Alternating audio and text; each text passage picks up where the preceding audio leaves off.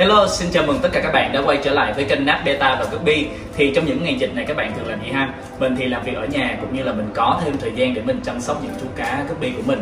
Và ngày hôm nay thì mình mới order một cái kiện hàng Red Ear rất là đẹp luôn. Ở đây là toàn những con cá phun tai, phun lưng luôn rồi ha.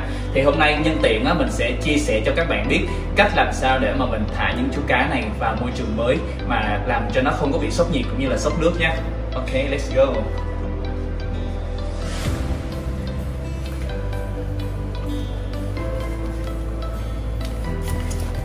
Rồi, ok, đây là thùng ờ, uh, coi Red Ear của mình. Thì uh, bây giờ dịch quá nên mình chỉ mua ở trong uh, thành phố thôi. Thì uh, anh shipper, anh uh, anh bán cá, anh có ship cho mình qua dịch vụ GNT nha. Chỉ sau một đêm là mình đã có thể nhận cá được rồi. Thì ở đây mình có mua là bốn cặp Red Ear.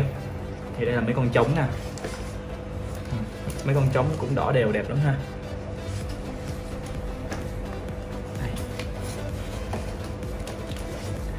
Đây thì uh, bởi vì mình mua là bốn cặp cho nên là anh uh, anh chủ shop thì có tặng cho mình thêm một con ờ, uh, trống red ear nữa. Cũng là rất là đỏ đậm đẹp luôn.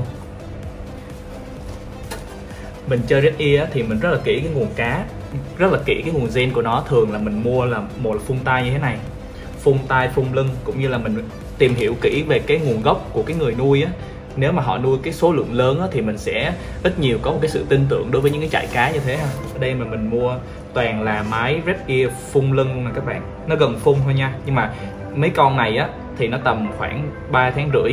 Nó chỉ cần uh, nó mang bầu và nó đẻ một lần thôi là chắc chắn là nó sẽ phun lưng luôn. Cái này theo kinh nghiệm nuôi của mình nha. Nè, con nào nó cũng uh, gần phun lưng hết rồi nè.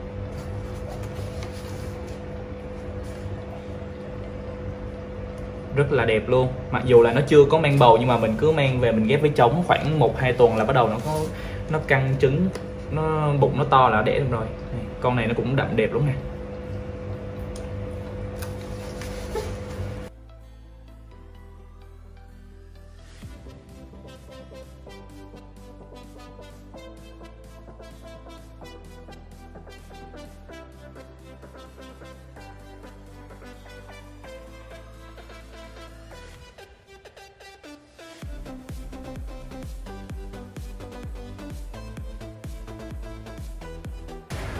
đầu tiên là mình sẽ chuẩn bị cái không gian nuôi cho nó. Thì ở đây là mình có một cái uh, cái thùng cắt đôi nè. Cái thùng này thì nó tầm cỡ là 14 lít nước.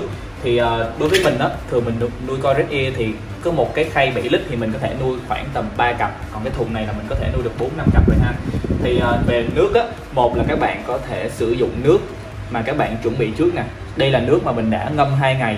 Thì nó cũng mình có cũng có bỏ những cái clo cái cái cái, cái chai khử clo bỏ vào thì nó sẽ khử những cái độc tố trong này ha. Cũng như là mình phơi ngoài nắng thì nước nó cũng rất là chất lượng. Một là các bạn sử, sử dụng nước ở đây ha. Hai á, là các bạn nên sử dụng cái nước cũ cái nước mà các bạn đang nuôi cá. Mình có thể lấy từ những cái hồ cá khác.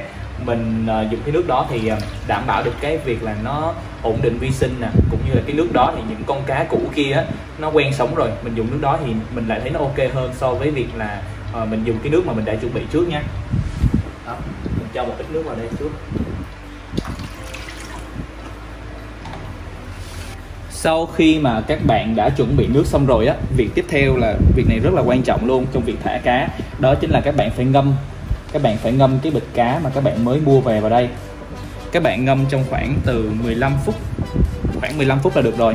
Còn nếu như mà các bạn mua cá ở tỉnh á, tỉnh thì thường ờ, người ta ship cá đến là cá nó để trong mấy cái hầm xe này nọ rất là nóng, cũng như là cái quá trình mà mang cá từ cái chỗ mà chạm xe về nhà mình á nó cũng ngực cá, nó cũng được vận chuyển ngoài trời, nó cũng rất là nóng. Thì các bạn có thể ngâm lâu hơn, tầm khoảng 20 đến 30 phút. Còn đây mình mua nội thành thôi thì à, mình ngâm tầm khoảng à, 10 15 phút là được rồi. Ngâm như thế này á, là để con cá nó có thể là thích nghi và nó quen dần với cái nhiệt độ nước ha, để tránh được cái việc là con cá nó bị sốc nước. Nó bị sốc nước thì thường là nó sẽ bị túm vây rồi nó lắc các kiểu ghê lắm các bạn. Cho nên là bước này rất là quan trọng, mình không được bỏ qua nha. Rồi bây giờ mình sẽ ngâm như thế này trong vòng 10 15 phút. Cho nó quen nhiệt độ dần ha. Sau khi mà những con cá này nó đã được ngâm khoảng 15 phút rồi á thì mình sẽ bắt đầu thao tác là mình thả cá nha. Thì có nhiều bạn sợ tiếc mấy cái bịch này á các bạn thường uh, tháo mấy cái nút này ra nhưng mà mình thấy uh, không cần thiết. Uh, bây giờ mình sẽ thả cá ra cho các bạn coi nha.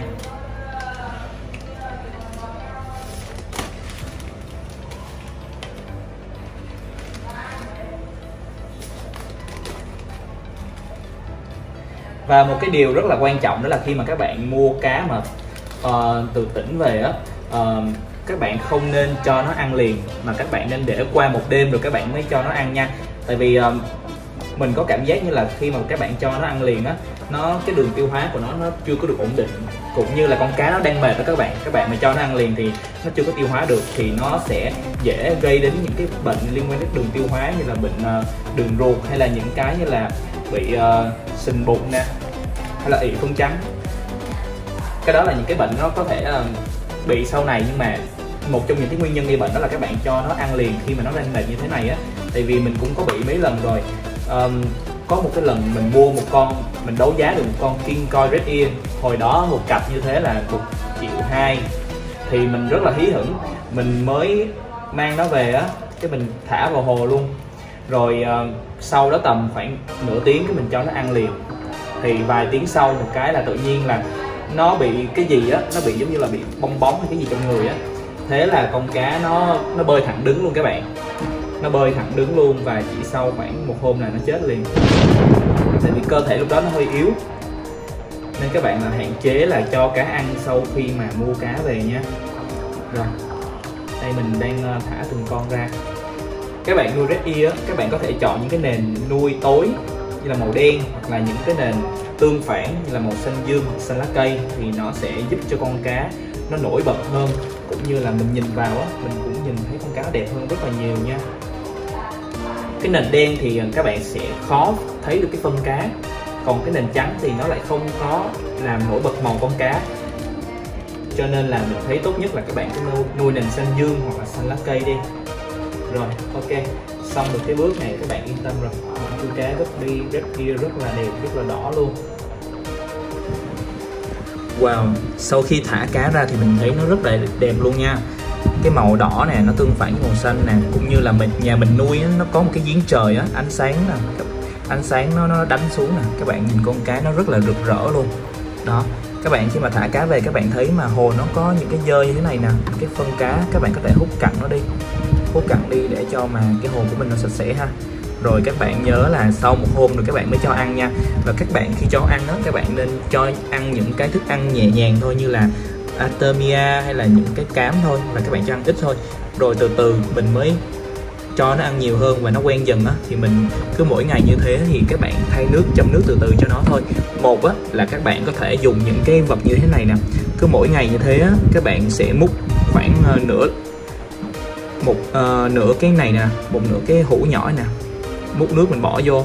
Đó cứ vài tiếng mình múc một nửa cái như vậy mình bỏ vào cho cá nó quen dần với nhiệt độ ha tầm khoảng ờ, 3 ngày là nước nó đã có thể là gần đầy rồi. Lúc đó là các bạn có thể nuôi thoải mái rồi. Rồi, vậy là video của mình đến đây là hết rồi các bạn nha. Thì mình cũng xin chúc cho gia đình các bạn cũng như là chính bản thân các bạn sẽ có một cái sức khỏe thật tốt trong cái mùa dịch Covid này. Cũng như là mình uh, chúc các bạn sẽ lai tạo ra được những chú cá copy thật là đẹp nha. Thì uh, các bạn cũng nhớ là like và đăng ký kênh Nap Beta và Copy của mình để mình có động lực và mình sản xuất ra thêm nhiều cái video cho các bạn coi nha. Rồi, xin chào và hẹn gặp lại.